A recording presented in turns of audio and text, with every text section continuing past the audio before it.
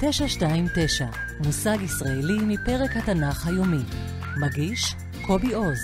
כתב דותן ארד.